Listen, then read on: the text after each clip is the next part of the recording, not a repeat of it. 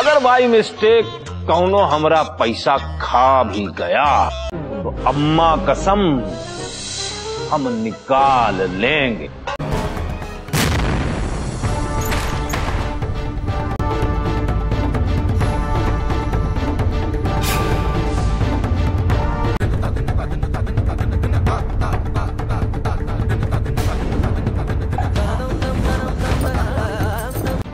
चलो हमारे साथ।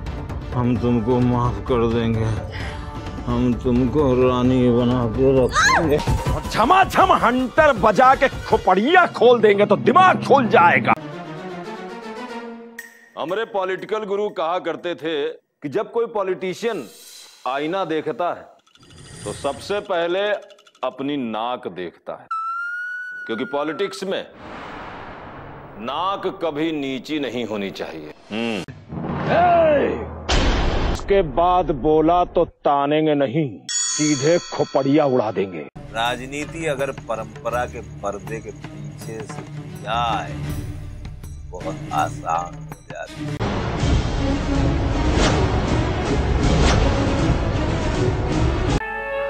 नहीं नहीं नहीं नहीं मेरी पन्नू देख तू रो मत नहीं तू मेरा कलेजा बाहर आ जाएगा मेरी पन्नू आँख निकाल लूँगा।